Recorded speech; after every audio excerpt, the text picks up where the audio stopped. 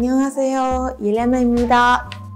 저 얼마 전에 생일이었는데 그래서 친구를 제 집으로 초대해서 이제 대접해줬는데 친구랑 식사하고 밖에 나가서 노래방도 가고 조금 놀았는데 근데 코로나 때문에 이번 생일이 진짜 아, 안 된 것 같아요. 한국에서는 생일 지나고 다음 날에 그 축하하는 축 하하는 게 아니라고 들었어요.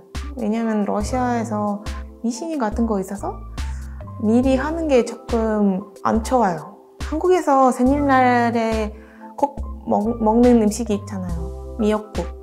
러시아에서 생일날에 먹는 음식 두구두구두구 케이크예요. 생일자 입맛에 맞는 케이크를 사주고 생일 축하 노래 부르고 그러는데 네, 한국하고 조금 비슷한 것 같아요 그런 것들이. 한국에서 기프티콘 카카오톡 선물하기 같은 거 많이 주더라고요 생일 때.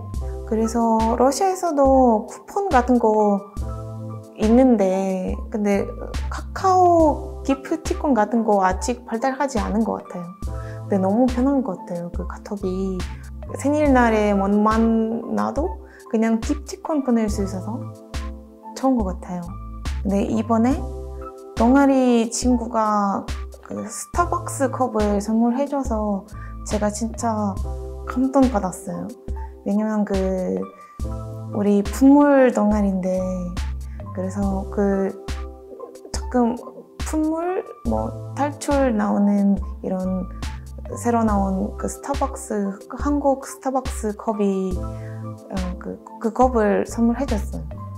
이번 생일, 생일은 한국에서 보는 게 됐는데 아쉬운 게 많더라고요. 왜냐하면 제가 친한 친구들이 지금 한국에 못 와 있어가지고 친구 생일날이 없어서 조금 아쉬웠어요. 생일날 어, 맛있는 케이크도 먹고 맛있는 음식도 먹고 술 조금 마시고 노래방도 가고 그러니까 친구 빨리 왔으면 좋겠어요. 내년에 진짜 열심히 생일날을 보낼게요. 감사합니다. 어, 어떡해요. 완전 제 스타일이에요. 잘 쓸게요.